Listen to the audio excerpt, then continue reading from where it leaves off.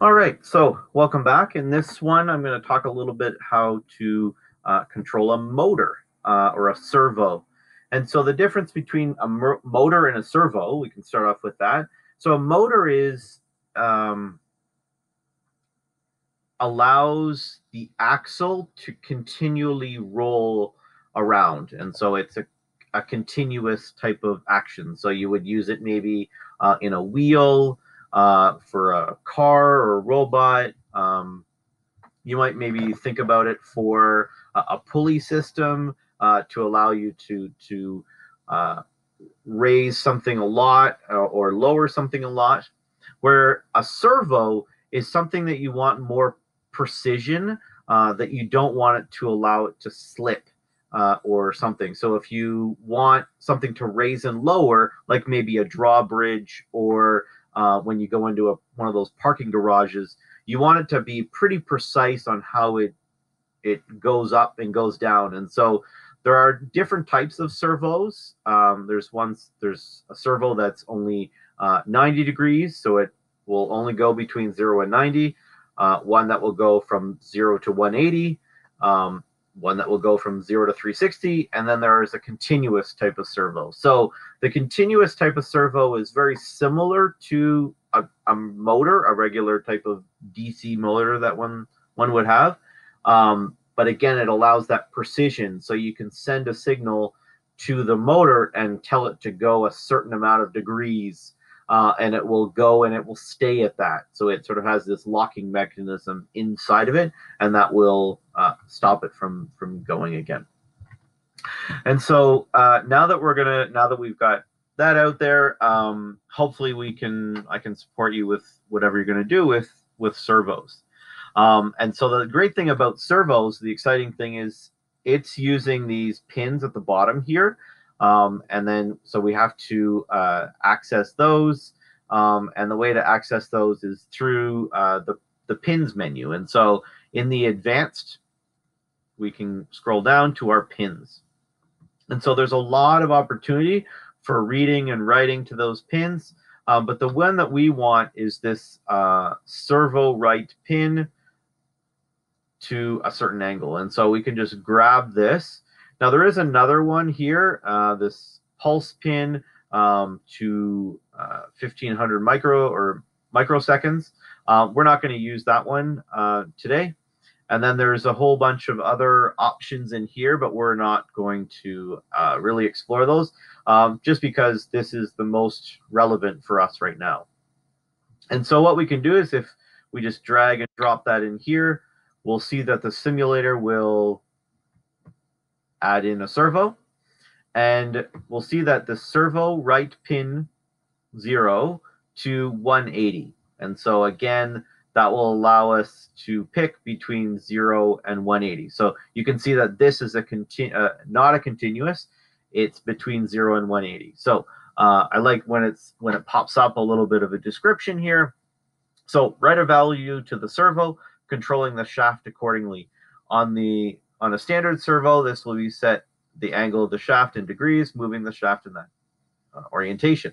On a continuous rotation servo, this will set the speed of the servo uh, zero in one direction and 180 the full speed the other direction. And so the value near 90 being no movement. And so this is sort of like you you take your you know again it depends on the servo that you're using, um, and again it's whatever application you're going to explore with.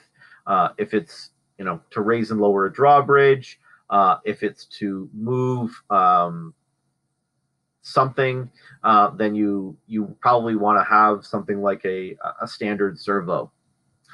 All right, so again, um, we can see here that we can we can have a servo on pin zero, and I can go ahead and I can have another pin uh, one. Now, the neat thing is you can have a few other um, servos on other pins, uh, and I'll let you explore that. I'm just going to demonstrate um, for our purposes what we have here. And so we can see that, you know, on pin zero, we start at 180, and pin one, we start at 180. And so again, depending on what we want to do, uh, we can raise and lower things. Um, and that's sort of outside of the simulation um, you would sort of have to just describe what would be happening uh, because you can't necessarily build on top of this. And so you can say that, you know, like this particular one would be attached to a, a drawbridge, and then this particular one would be attached to another door. If you were making, I, I, I got this castle idea, um, but yeah, so you'd be able to to use the two servos running off of uh, the microbit, um, off of a single microbit to be able to do those two things. And so this is where we can add in some input. So we can say, you know, on button A pressed, and we can have the servo on pin zero maybe go to 90 degrees. And then on button B pressed, we can have the servo on pin one go to zero. So let's test that out. So when I press A, it goes down to, so this is our uh, 90 degrees. And then if I press B, goes all the way over here. And so again, you know, we want to, we could, we can explore a little bit more. Um, maybe this waits for a second and then it will close down. So maybe this 180 means that it's closed.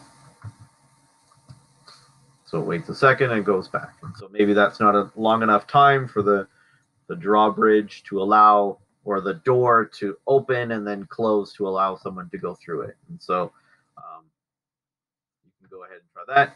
The other option is if you wanted to, you know, wait um, and you know you're, you want to use some sort of uh, statement in terms of the light level or something. So let's say that the, uh, I don't know, I'm just sort of coding this on the fly here, but the light level reaches a uh, certain amount um, or is below a certain amount. So maybe it's bright outside uh, and then it goes down to 50. So something passes in front of the microbit and then it knows, okay, something's passed in front of it. We'll wait a second or we'll wait uh, half a second uh, and then we'll close type of thing. So um, this is where you can, you know, you push the button to open the door, uh, then you move through it. And so your car or vehicle might um, create a shadow on the microbit and then it will close the door. And so there's a small little project uh, or little idea that you can, you know, go ahead and build on on top of that. So uh, hopefully that is a, a, good start for you to understand sort of the basics of uh, using the servos um, within the MakeCode simulator. And uh, again, if you have any questions, please feel free to reach out. Uh, I'm excited to support you in all of your learning endeavors. All right. Thanks very much. Happy coding.